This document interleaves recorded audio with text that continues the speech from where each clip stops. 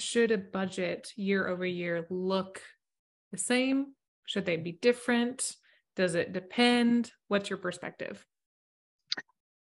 I tend to think they're different every year, um, and and part of that is you know that ten to twenty percent of increasing costs that we like to build in. Um, so looking at the prior year, you you make those modifications um, to increase it a little bit, um, and then I think you know all businesses tend to change. There's staffing changes, there's changes in the marketplace. Most business owners hope to grow and so you know they set their sights on on greater revenue uh, and with that comes sometimes greater expenses usually.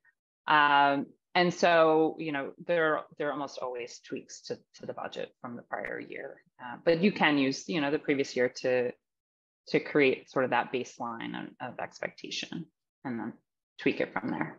Mm-hmm.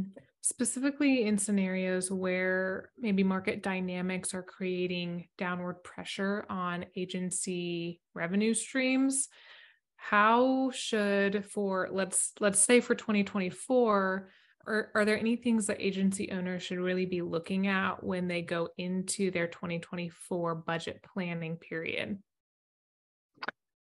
yeah i mean i think you want to take a look at you know what you have going on in your pipeline um, and what you have, you know, coming in, um, and see if you can make changes to your expenses to account for, you know, potentially decreased sales. Um, you know, if there are any areas that you can cut to really um, pare back.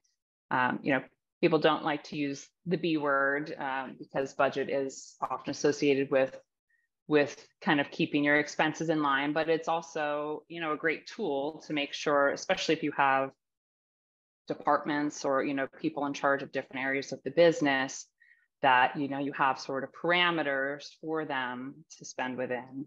Um, so it's it's just an important tool. Again it doesn't have to be adhered to to a t um, there are exceptions there are things that change but i think um, you know it's good to sort of set those those expectations from the start.